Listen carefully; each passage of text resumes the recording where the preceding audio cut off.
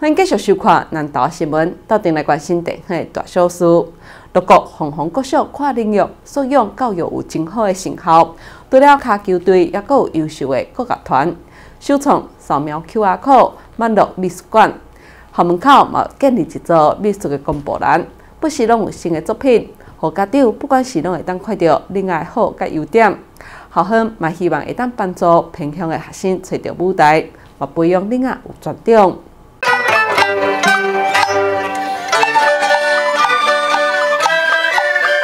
六国乡红红国小全校只有七十位的学生，虽然人无多，但是校长利用跨领域的学习方式来教育学生。伫学校创立卡球队，阁有国乐团，希望学生所得到的知识、甲态度会当应用伫生活当中，和学生多元学习。我们发现，在偏乡里面有一个很缺乏的，孩子们没有舞台，没有舞台，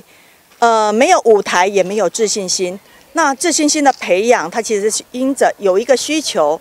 有一个需求，有一个阶段性的目标，孩子才能够去发展他的能力。利用跨领域的课程来结合，利用校定课程来帮助孩子定高他的高度，也借着家长们的掌声、好家长们的鼓励，以及帮助孩子完成阶段性的一个又一个的小目标，串联起他的能力。在关于黄东浩的赞助之下，红红国小的校门口兴建一座艺术公告栏。有了这个艺术工具栏，除了会使来展出学生的作品，营造艺术的氛围，嘛，好来到学校的家长，拢会使看到红红国小的囡仔多玩学习的成果。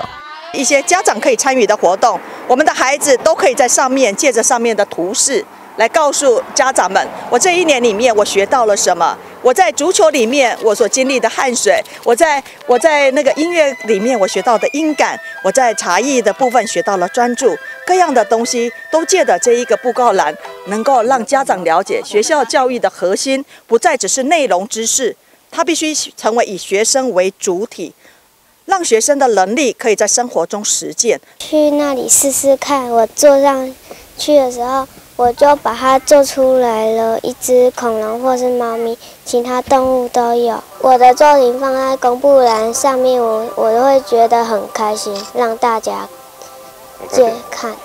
校长相信，互偏向囡仔一个舞台表现，每一个学生都是上厉害的，会继续推动跨领域学习，互家长有机会看到囡仔的好处，做伙鼓励囡仔成长，增加小朋友的自信心。